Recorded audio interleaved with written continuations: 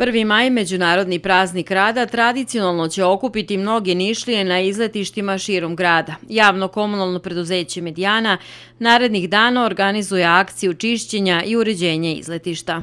Kao i svake godine, javno komunalno preduzeće Medijana će imati organizovane akcije za uređenje izletišta. Naravno, tu su i naše gradske opštine koja će svaka na svojoj teritoriji koja ima izletišta da organizuje pre svega i da motiviše sve one koji budu tih dana u prirodi, da kontrolisano bacaju smeće tamo gde je to ovaj, predviđeno i naravno da za, da za sobom ostave čist prostor kako bi eto i ti neki sledeći izletnici, pošto nam ide lepo vreme, ovaj, mogli da dođu na izletište, a da je ono očišćeno.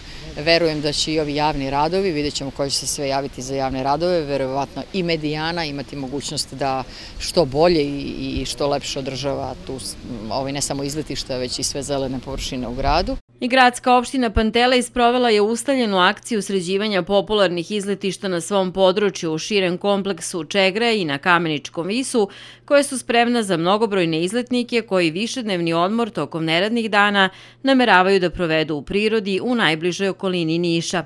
Za zainteresovane posetioce Kameničkog visa na dan 1. maja gradska opština Pantelej kao i svih proteklih godina obezbedila je besplatan prevoz do ovog popularnog izletišta. U skladu sa ustaljenom praksom iz prethodnih godina, autobus bi prevozio izletnike na relaciji polazak sa stajališta kod učiteljskog doma sa usputnim stanicama u Jagodin Mali i ulici Kosovke Devojke preko Vinika i sela Kamenica do parkinga na izletištu Kamenički vis.